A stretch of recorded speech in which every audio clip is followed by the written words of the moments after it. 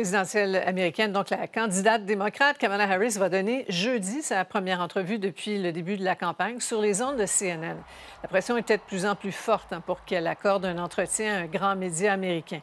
Par ailleurs, Donald Trump a affirmé sur son réseau Truth Social qu'il s'était entendu avec Mme Harris sur les conditions du débat du 10 septembre. Il dit avoir accepté des règles similaires au débat du 27 juin sur CNN. Eh bien que Kamala Harris mène dans les sondages actuellement, rien n'est joué dans les États clés, Pierre-Olivier. Effectivement, Sophie, on parle beaucoup de l'avance de Kamala Harris euh, dans les grands sondages nationaux, mais la vérité, c'est que les luttes sont extrêmement serrées.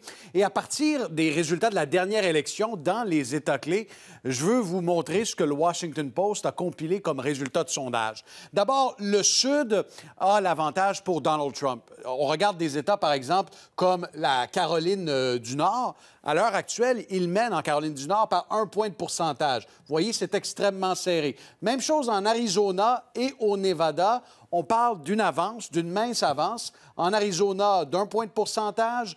Au Nevada, une, avance de euh, deux points de pourcentage. Et voyez, ce sont des États qui ont voté démocrate lors de la dernière élection. Même chose en Géorgie. Les républicains ont une avance à l'heure actuelle de trois points de pourcentage. Ce qui se dessine, c'est vraiment un affrontement du nord des États-Unis contre le sud des États-Unis. Dans le sud, Donald Trump fait très bien à l'heure actuelle, alors que plus au nord, on pense à la Pennsylvanie où les démocrates ont une avance de, trois points de pourcentage à l'heure actuelle. Kamala Harris semble mieux faire.